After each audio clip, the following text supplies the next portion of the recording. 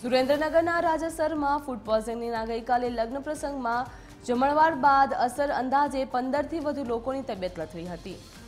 અસરગ્રસ્તોને રાણાગઢ સરકારી હોસ્પિટલ ખાતે ખસેડવામાં આવ્યા હતા. હાલ તમામની હાલતમાં સુધારો જોવા મળી રહ્યો છે. ઉપર આરોગ્ય વિભાગની ટીમ દ્વારા તપાસ પણ હાથ ધરવામાં આવી છે.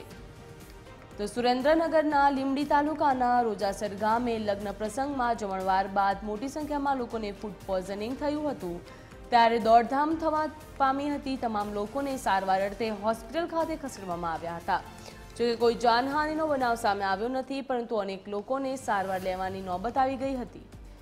તો લીમડીના રૂજાસર ગામે લગ્ન પ્રસંગમાં મોટી સંખ્યામાં લોકો આવ્યા હતા.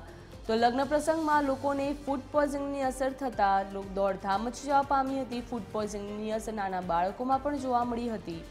તો ડોક્ટરે સારવાર શરૂ કરી હતી. જે લોકોને ફૂડ પોઈઝનિંગ થયું હતું, તેને સરકારી હોસ્પિટલ ખાતે દાખલ કરવામાં આવ્યા હતા.